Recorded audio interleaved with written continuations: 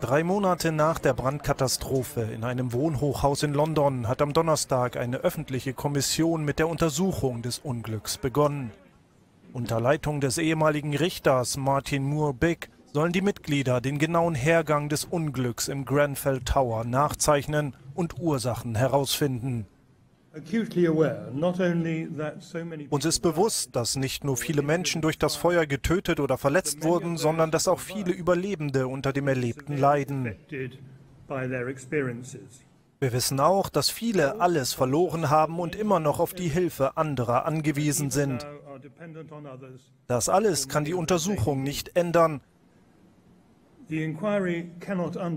aber sie kann und wird Antworten auf die drängende Frage finden, wie so eine Katastrophe im London des 21. Jahrhunderts passieren konnte.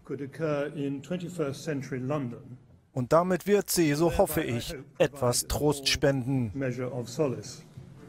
Die Kommission wolle unter anderem herausfinden, wie der Entscheidungsablauf war, der zum Einbau der brennbaren Fassadendämmung geführt habe, sagte Murbig weiter. Bei dem Brand am 14. Juni waren mindestens 80 Menschen getötet worden. Das Feuer hatte sich schnell über die Außenfassade auf das ganze Gebäude verteilt. Viele Opfer wurden im Schlaf von den Flammen überrascht.